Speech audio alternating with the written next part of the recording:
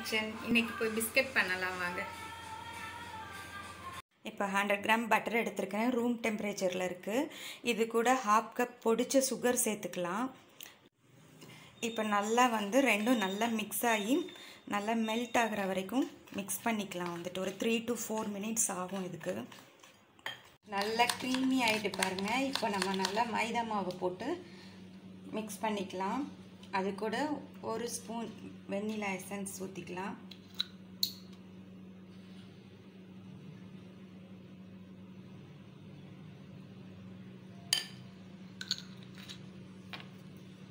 நல்லா ஒன்றா மிக்ஸ் பண்ணி ஒரு நல்ல மாவு சப்பாத்தி மாவு மாதிரி எடுத்துக்கலாம்.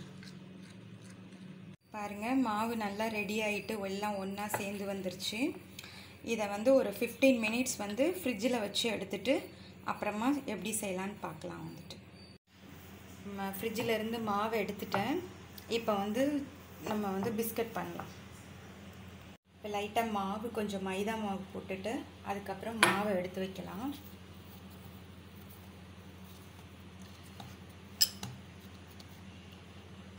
இதில் பாதி எடுத்துக்கலாம் நம்ம. அப்புறமா பாதி செஞ்சுக்கலாம்.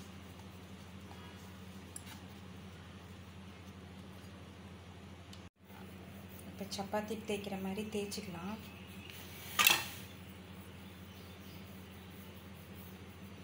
ரொம்ப மெல்லுசாவும் வேணாம் ரொம்ப திக்காகவும் வேணாம்.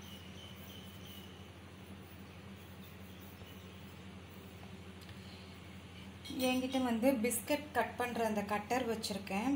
அதை வச்சு நான் ரெண்டு கட் பண்ணி காமிக்கிறேன். அடுத்து கையிலே பண்ணிக்கலாம்.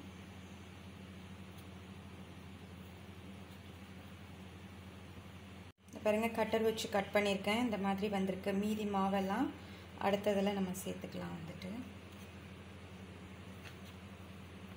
இப்போ வந்து கட்டர் வச்சு கட் பண்ணி எடுத்துட்டேன். இதை வந்து ஒன் எயிட்டி டிகிரி செல்சியஸில் வச்சு ஃபிஃப்டீன் மினிட்ஸ் வச்சு எடுத்துடலாம். எடுத்துகிட்டு பார்க்கலாம்.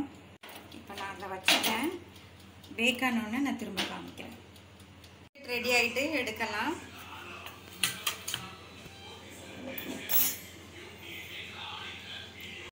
பாருங்கள் ஒரு கட் மைதா மாவு நூறு கிராம் பட்டரில் பதினெட்டு பிஸ்கட் வந்திருக்குது.